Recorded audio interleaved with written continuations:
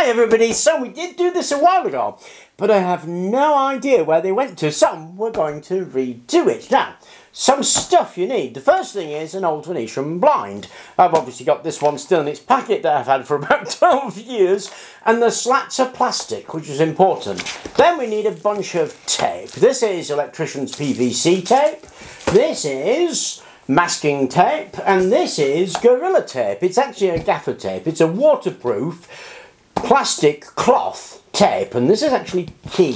So any tape will do as long as it's water resistant, as long as it's plastic coated and as long as it's pretty strong. And this stuff, as I say, it's got a cloth weave. But gaffer tape fulfills all those requirements. I just use Gorilla tape because it's here and it's pretty cool. So what we do is get this out the box. and separate out those slats.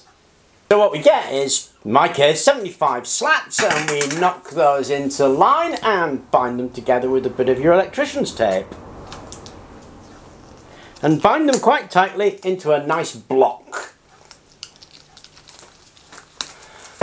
There we go, and just go down there about four or five times. There you go, now we need to cut it off at 45 degrees, so stick it in the saw and saw it off. We've done that, swap it round, choose some random number, I don't know, 16 centimetres, really doesn't matter, 16 here, and so I'll use that, line it up, and then saw it the other way. So in no time at all, you'd end up with a whole load like that. Now they do have a slight problem. They are uh, Venetian blinds, they've got a curl to them and we want to take that curl out because it's PVC. Just stick it in some greaseproof paper and run an iron over it once twice and that'll take the curl out and you'll end up with the load like this. Now you need to decide how big it's going to be and I'm going to put 20 of these aside, they're going to be square so it's four sides. So I've got 80 of these ready and now what we need to do is lay them out. Okay, I've got 20 of them all laid out and a bit of steel bar on top and now a bit of masking tape onto the edges to hold them all in place. When our masking tape is down, we can take the bar away, and this is where this marvellous stuff comes in. What we'll do is take a strip of that and put that down the centre.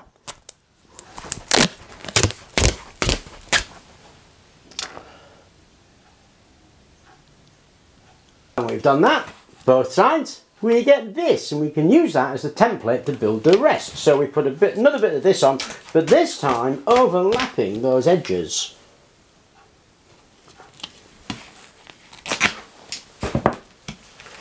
Flip it over.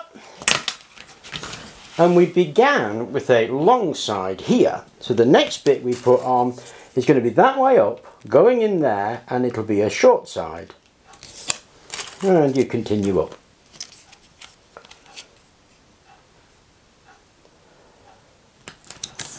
Okay, so we've done all of that. Now we put a last piece on, wrap around a bit of 2 4, stick it down because we're going to need to join up those edges. So we need to fix these edges to do that. So I'll stick that down, then I can curl this around, match them up, stick it down, tape it up.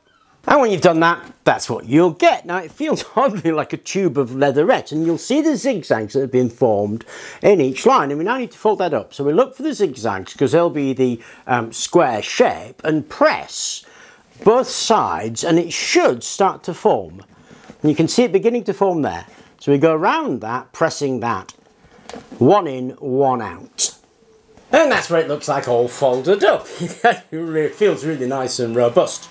The fillets that we put in there, they um, help the strength actually. This will handle a fair bit of pressure, but if you want more pressure, then you make those fillets thicker. So, you know, use oak or something like that, or maybe even metal.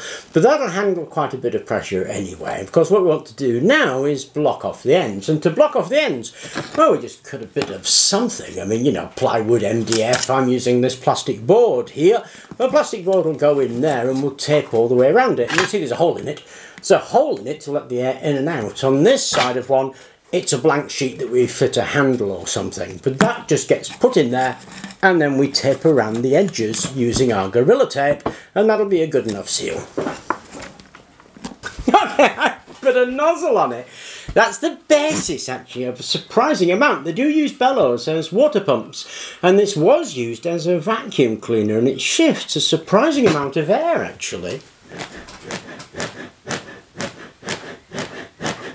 Oh, that's nice. so you could use it as a low energy um, air conditioning unit because it's meant to shift air and it shifts a huge volume relatively easily. But that's how to go about making bellows. They're very, very useful for a whole host of things beyond just getting your fire lighted. Hope you enjoyed the video. Thank you very much for watching and please do remember to like and subscribe.